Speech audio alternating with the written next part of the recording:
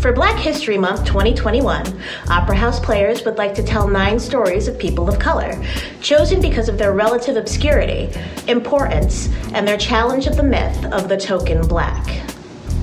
Black History Month honors the contributions of African Americans to U.S. history. There are the famous Black Americans that we know through that little section in our history books in elementary school. We know about Rosa and Louis and Martin because their stories get told as staples. Yes, their stories should be in the spotlight. Yes, they demolished barriers. But there is so much to tell among Black America, so many unsung pioneers. Like Matthew Henson, who told his story and demanded recognition, while Henrietta Lacks proved that she was essential simply because her existence made medical breakthroughs that we can't live without. Black history doesn't begin and end with the stories you've been told at school. They only scratch the surface of the greatness that we are capable of.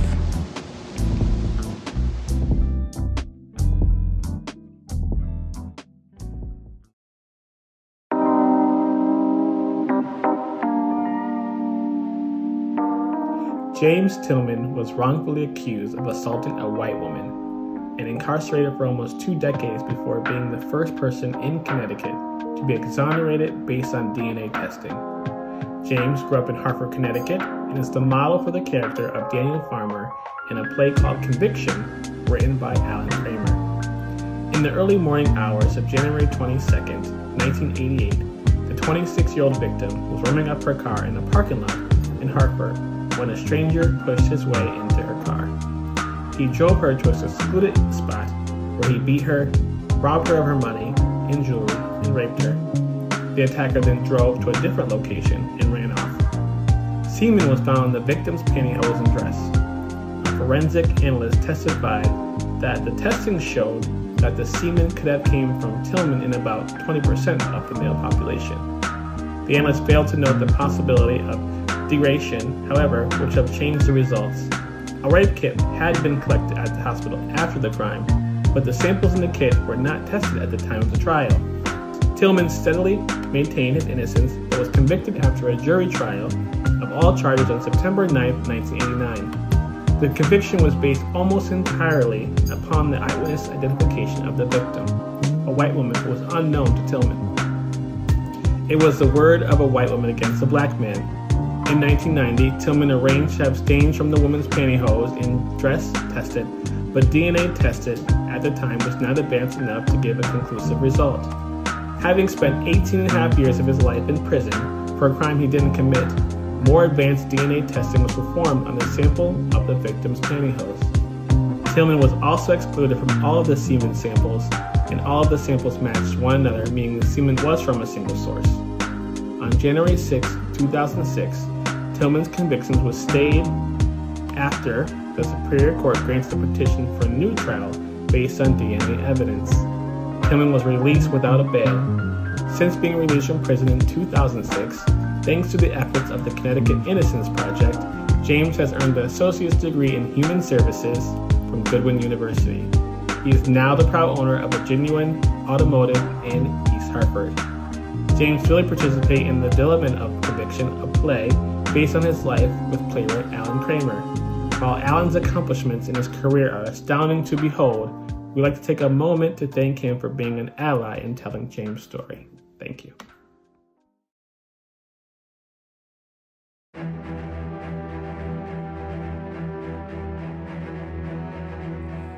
In 1706, an enslaved West African man was purchased for the prominent Puritan minister Cotton Mather by his congregation. Mather gave him the name Onesimus after the enslaved man in the Bible. He introduced the practice of inoculation to colonial Boston. By 1721, the smallpox epidemic was in full swing, killing hundreds. Smallpox was one of the era's deadliest afflictions among colonists and Native Americans alike. It decimated Native communities that, with no immunity, were unable to fight it. The virus was extremely contagious, spreading like wildfire in large epidemics. Smallpox patients experienced fever, fatigue, and a rash that could leave disfiguring scars. In up to 30% of cases, it was fatal. A Boston advertisement for a cargo of about 250 enslaved people recently arrived from Africa around 1700, particularly stressing that the enslaved people are free of smallpox, having been quarantined on their ship. And there seemed to be a reason. Onesimus knew about an early immunity procedure, and he shared with Mather that he knew how to prevent smallpox. Onesimus, who is a pretty intelligent fellow, Mather wrote, told him that he had had smallpox and then hadn't. Onesimus said that he had undergone an operation which had given him something of the smallpox. It would forever preserve him from it. And whoever had the courage to use it was forever free of the fear of contagion. The operation Onesimus referred to consisted of rubbing pus from an infected person into an open wound on the arm. Once the infected material was introduced into the body, the person who underwent the procedure was inoculated against smallpox. After an unpopular start, in 1721, Mather and Zabdiel Boylston, the only physician in Boston who supported the technique, got their chance to test the power of inoculation. Out of the 242 people inoculated, only six died. The smallpox epidemic wiped out 844 people in Boston. Eventually, smallpox vaccination became mandatory in Massachusetts. In 1980, the World Health Organization declared smallpox entirely eradicated due to the spread of immunization worldwide. It remains the only infectious disease to have been entirely wiped out.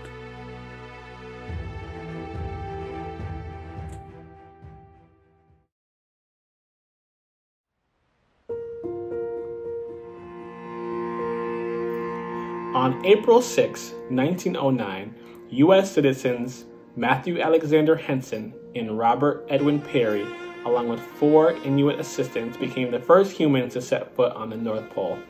Henson and Peary have been attempting to reach the pole for the past 18 years. Henson is credited with being the first group to reach the North Pole.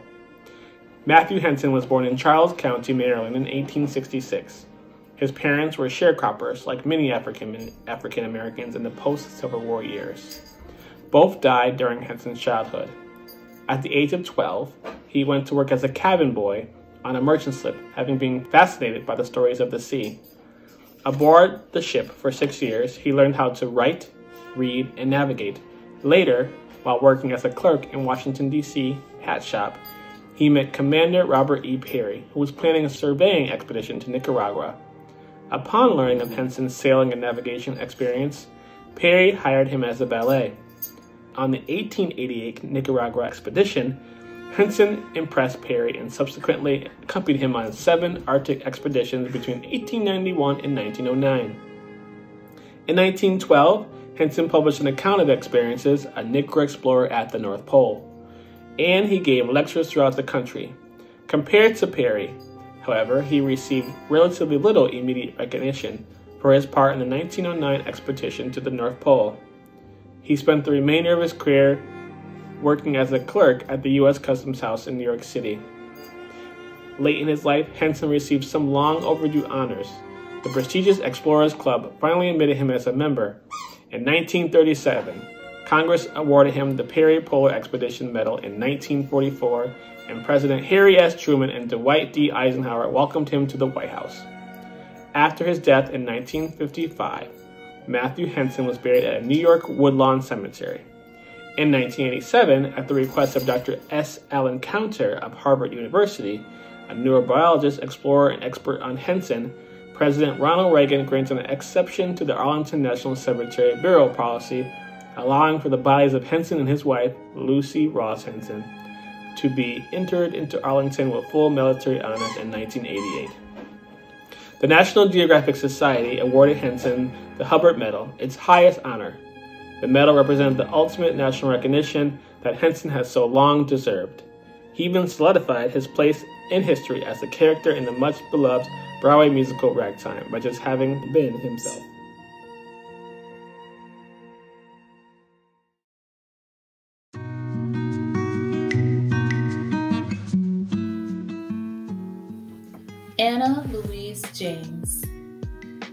Anna Louise James was born on January 19, 1886, in Hartford. The daughter of a Virginia plantation slave who escaped to Connecticut, she grew up in Old Saybrook. Dedicating her early life to education, Anna became in 1908 the first African American woman to graduate from the Brooklyn College of Pharmacy in New York. She operated a drugstore in Hartford until 1911. When she went to work for her brother in law at his pharmacy, making her the first female African American pharmacist in the state. The pharmacy where James worked started out as a general store for the Humphrey Pratt Tavern in 1790. The store moved to its current location at the corner of Pennywise Lane in 1877, where it became Lane Pharmacy. Peter Lane, one of only two black pharmacists in early Connecticut, added a soda fountain to his establishment in 1896. When Peter got called away to fight in World War I, he left the pharmacy in the care of his sister in law, Anna Louise James. In 1917, Anna took over the operation and renamed her business James Pharmacy. Anna, known to local residents as Miss James, operated the business until 1967. Although the building has changed owners numerous times over the years, the former pharmacy, now primarily an ice cream shop, retains much of the character James instilled in it. The shop still utilizes some of the original cabinetry, tables, chairs, and marble countertops as well as a 1940s milkshake machine. In the 1990s, AT&T featured the James Pharmacy building in one of its television commercials. The building also received recognition as part of a documentary on local resident Katharine Hepburn. In 1994, the James Pharmacy received a listing on the National Register of Historic Places.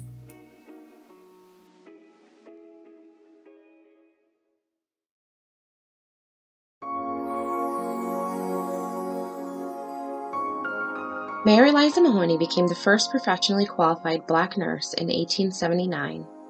Besides being acknowledged as an excellent nurse, she continued throughout her life, making her mark as an activist for the rights of minority nurses and women. Mary Eliza Mahoney was born on May 7, 1845, in Dorchester, Massachusetts, to freed slave parents who had moved north wanting to live in an environment with less racial discrimination. Mahoney's small stature, weighing in around 90 pounds, did not limit her energy and drive. She was a deeply religious woman, which was also the reason why she aspired from a young age to become a nurse. Mahoney started work at the New England Hospital for Women and Children at the age of 18 and worked there for 15 years as a cook, maid, and washerwoman before starting her training as a nurse. At the age of 33, Mahoney was the first black woman to be accepted into the hospital's 16 month training program in 1878. New England Hospital for Women and Children was the first institution in the U.S. to introduce a formal nursing training course in 1872. The hospital was founded and staffed entirely by women physicians. Out of a class of 40, Mary Eliza Mahoney graduated as one of the only four students to complete this intensive program and became the first black professionally qualified nurse. For the next 30 years, she worked mainly as a private duty nurse in the homes of wealthy white families. She was praised for her efficiency and calm approach, and her reputation spread to the extent that they received calls for her services from across many U.S. states, including Massachusetts, New Jersey, Washington, and North Carolina. Throughout her career, she took pride in her work, driven by the belief that it was important to prove that there was no place for discrimination in the nursing profession.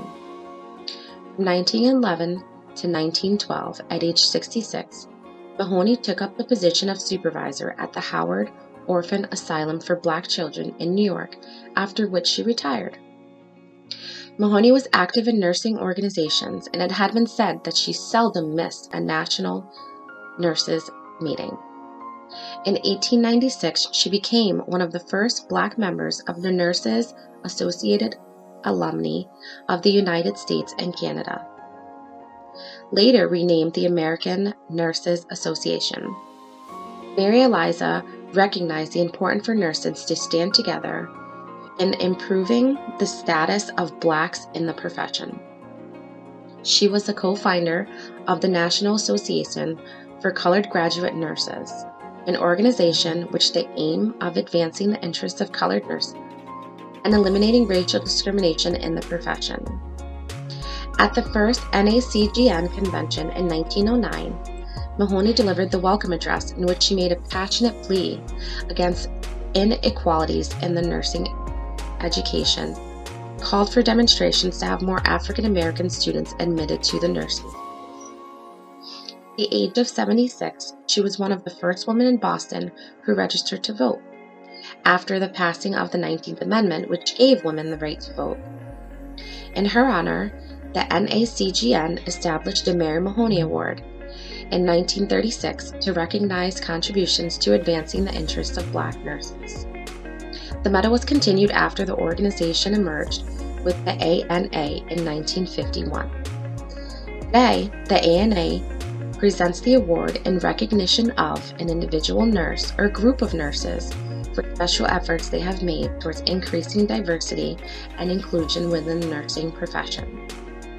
Mahoney was inducted into the American Nurses Hall of Fame in 1976 and into the National Women's Hall of Fame in 1993.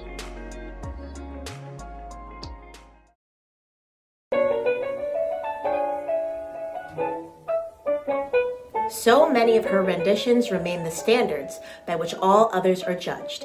The genius of her Pirate Jenny to I Need a Little Sugar in My Bowl.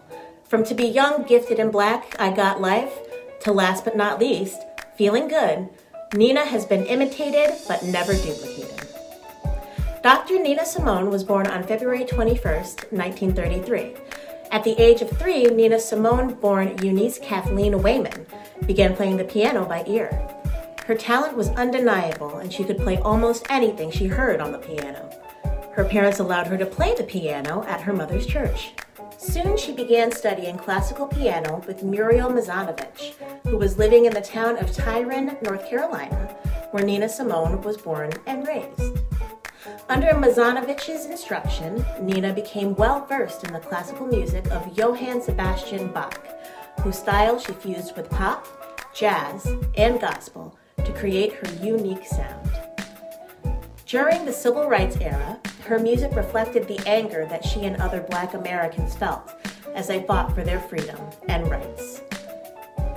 The existence of racism had been obvious to Dr. Simone at a young age. She studied at Juilliard in New York, was valedictorian of her class in high school, and was denied admission to the Curtis Institute of Music because she was black. In the 1960s, Simone became a friend of Martin Luther King Jr. and Malcolm X and performed at civil rights demonstrations. Her 1964 song, Mississippi Goddam, exemplifies this period. Her popularity grew as she added folk and gospel selections, as well as songs by the Bee Gees, Bob Dylan, and Screamin' Jay Hawkins to her repertoire. Angered by American racism, she left the United States in 1973 and lived in Barbados and Africa. She settled in France, where she released her final album, 1993's A Single Woman, which featured French lyrics alongside pop covers from the likes of Prince and the Beatles. Simone went on to record more than 40 albums, earning four Grammy Award nominations and receiving a Grammy Hall of Fame award in 2002 for her work. Additionally, she received three honorary degrees from Malcolm X College and Amherst College, the third was granted nine days before she died, from the school that rejected her, the Curtis Institute of Music. Dr. Nina Simone was arguably one of the most extraordinary artists of the 20th century, an icon of American music. She was the consummate musical storyteller who used her remarkable talent to create a legacy of liberation, empowerment, passion, and love through a magnificent body of work. She earned the moniker High Priestess of Soul, for she could weave a spell so seductive and hypnotic that the listener lost track of time and space as they became absorbed in the moment. A 1980 Chanel television commercial that included her vocal My Baby Just Cares for Me helped introduce her to many new and young listeners. A similar rebirth occurred in the 21st century when her 1965 recording of Sinner Man was remixed as an electronic dance music standard. Despite ill health, she continued to tour and perform, and she maintained a devoted international following until her death in 2003.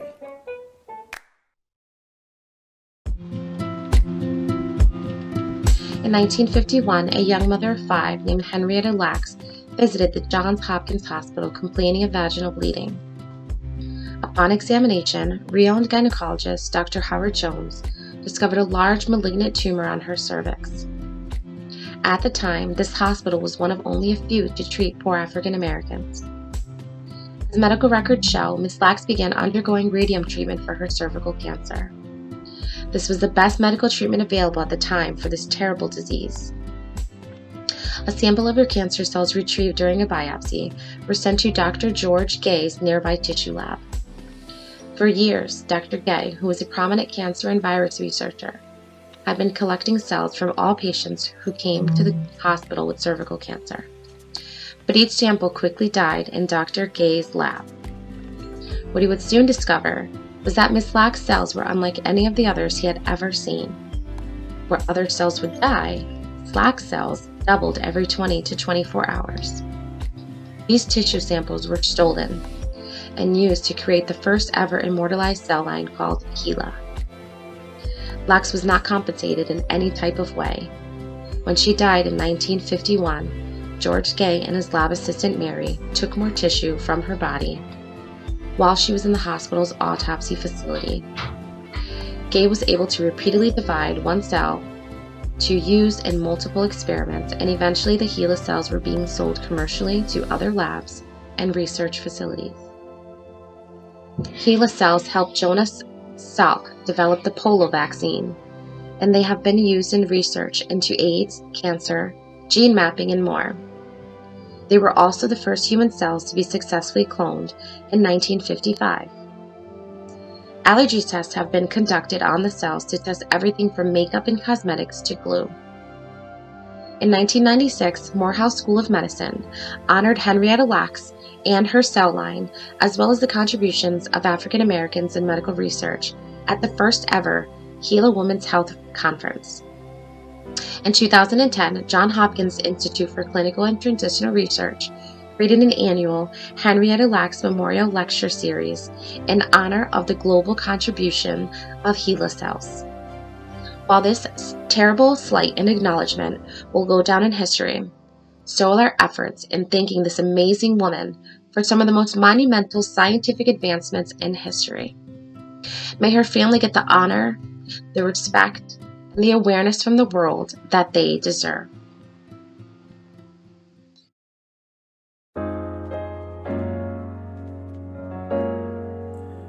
Frank Mann was Howard Hughes' top engineer, lifelong best friend, and hidden genius behind much of Howard Hughes' success in the world of aviation and mechanics.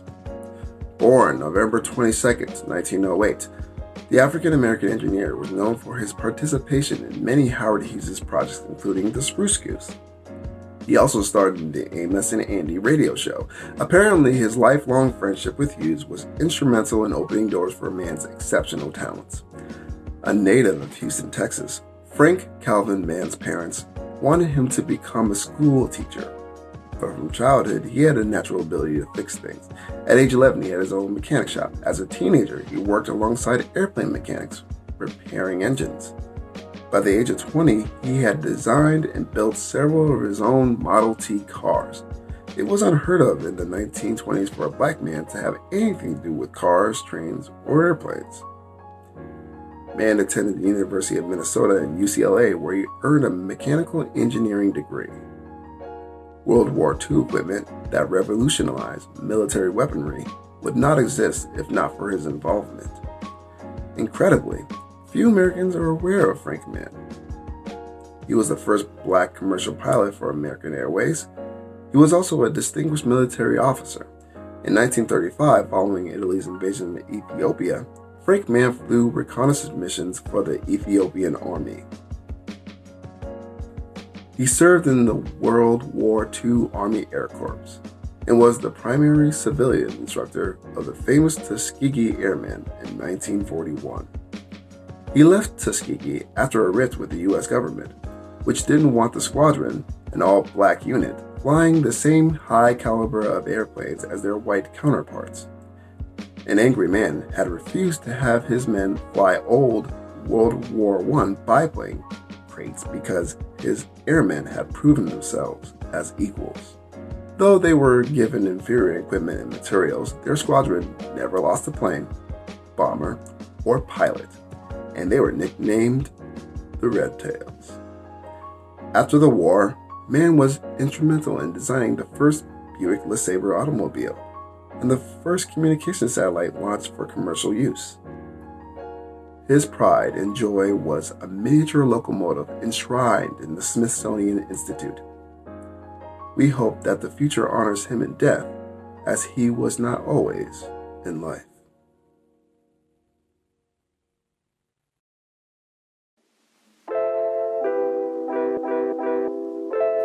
Valerie Thomas's interests in math and science were not encouraged until her college years.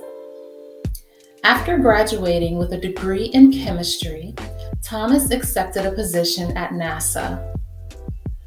She remained there until her retirement in 1995. During that time, Thomas received a patent for an illusion transmitter and contributed broadly to the organization's research efforts. Valerie Thomas was born in February 1943 in Maryland.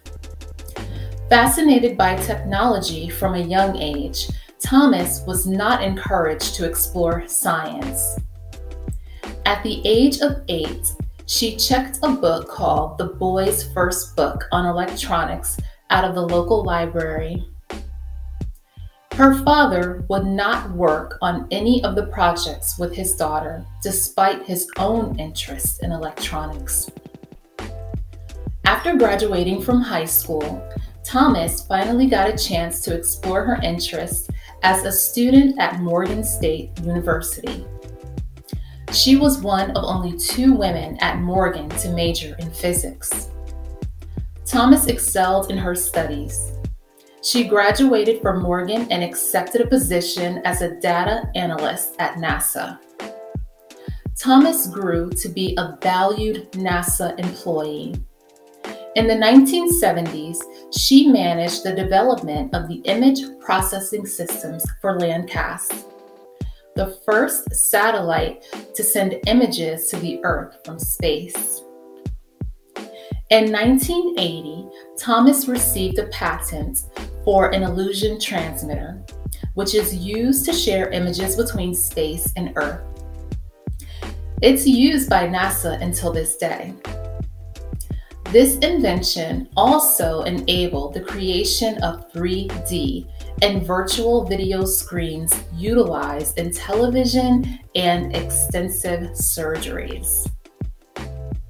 Until her retirement from NASA, Thomas contributed widely to the study of space. She helped to develop computer program designs that supported research on Halley's Comet, the ozone layer, and satellite technology.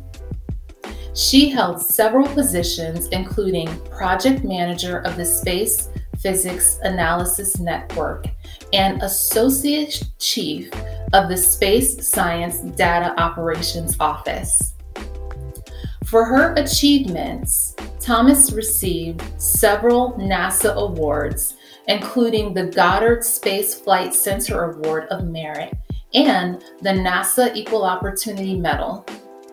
Her success as a scientist, despite the lack of early support for her interest inspired Thomas to reach out to students.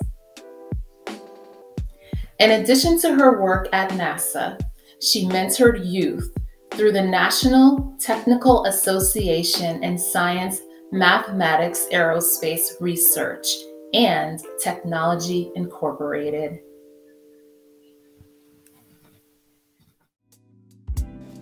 Black History Month began as Negro History Week in 1926.